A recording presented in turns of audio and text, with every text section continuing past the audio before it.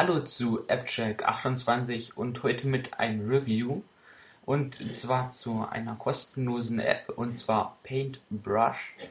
Ähm, ja, Paintbrush kann man für die Windows-User vergleichen mit Paint. Ähm, da ist meiner Meinung nach oder meines Wissens ja bei Apple, also bei Mac, ja kein Paint oder kein Malprogramm gibt. Wenn doch, könnt ihr mir schreiben, wie es heißt. Und ja, ähm, öffnen wir die App, können wir hier gleich auswählen, wie groß unser Bild sein soll. Ähm, ja, entweder das vorgefertigte oder wir können hier auch halt selber was einschreiben. Ich lasse das jetzt am besten erstmal so und klicke auf OK. Ja, dann wird das alles bearbeitet, es lädt kurz. Ja, und schon können wir malen. Also man kann das noch als Vollbild machen. Und ja, ähm, können wir malen.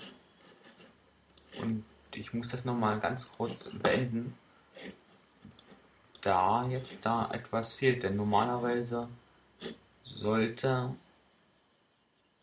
ähm, da nämlich noch etwas sein. Genau, das hat gerade gefehlt. Okay.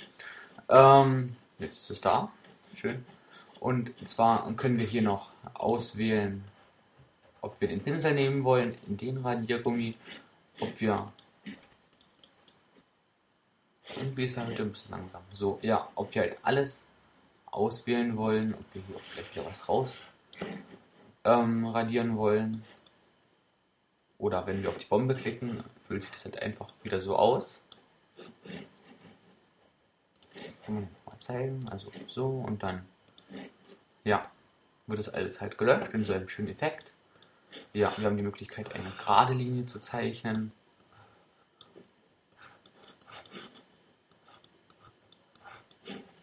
Oder halt ein Kreis.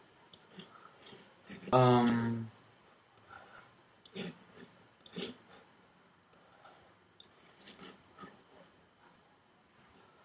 beziehungsweise können wir hier auch gleich ein paar Quadrate äh, machen oder ähm, kein Quadrat, sondern ein Rechteck oder halt ein Rechteck mit runden Kanten. Ich weiß nicht genau, wie es heißt. Wenn man auf das T klickt, kann man hier noch etwas schreiben.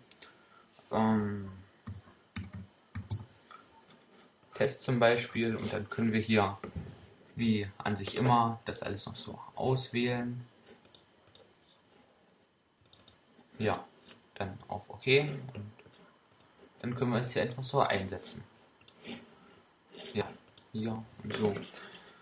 Ähm, genauso können wir uns noch eine Farbe aussuchen, solange sie hier drin ist. Also wir können jetzt nicht hier einfach so, sondern müssten dann hier. Und wenn man hier draufklickt, kann man sich entweder hier diese Stifte auswählen ähm, oder halt hier kann man überall rüber gehen.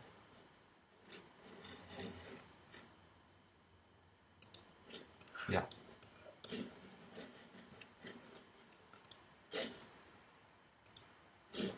Und dann haben wir jetzt dieses Ordnerblau hier. Oder können uns halt hier überall was auswählen. Könnt ihr dann hier noch die ähm, Stärke auswählen, also wie doll man malen will, oder kann sich dann halt hier noch so ein Rad gleich raussuchen. Und ja, mit der Lupe kann man halt alles heranholen.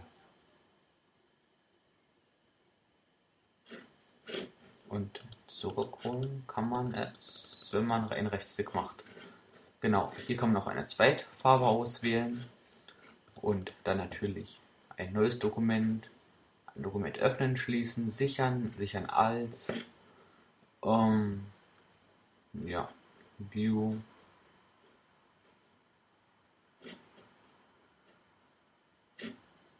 ja, also alles, was man braucht, ja, ist kostenlos und ich finde es an sich richtig gut. Ja, hier kann man zum Beispiel noch ein bisschen auswählen.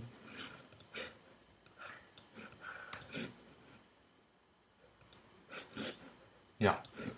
Also wie schon gesagt, ich finde die App richtig gut, vor allem sie ist kostenlos und ist ein guter Ersatz für das nicht vorhandene Paint bei Mac. Ja, Link in der Beschreibung. Ich hoffe, es hat euch gefallen. Ähm, es war auch gleich ein Test für mein neues Aufnahmeprogramm, was ich jetzt mal ein bisschen testen werde. Und ja, wenn es euch gefallen hat, schreibt einen Kommentar, gebt einen Daumen hoch und bis zum nächsten Mal.